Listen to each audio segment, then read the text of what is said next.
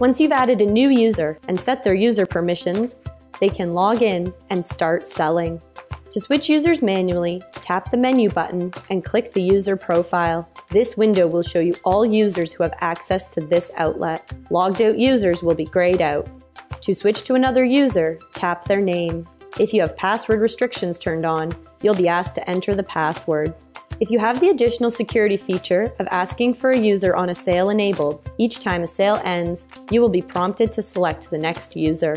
To enable this, tap the menu button, then Setup, Outlets and Registers, and select the register you wish to apply this setting.